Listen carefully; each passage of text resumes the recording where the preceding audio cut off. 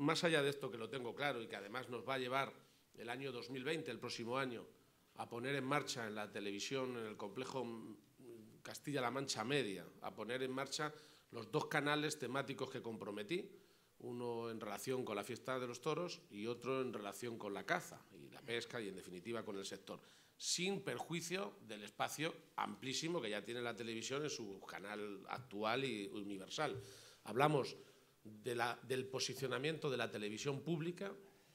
ni más ni menos que en el espacio de medios de comunicación en redes, de Internet, que cada vez tiene más consumo y además lo tiene a la hora, a la hora que cada uno guste como consumidor. Por tanto, el año que viene contaremos ya con estos dos espacios que serán respetuosos con todo el mundo, pero que yo creo que engancharán a muchísima gente, eh, a muchísima gente a lo que es nuestra cultura, nuestra tradición, como digo, centenaria.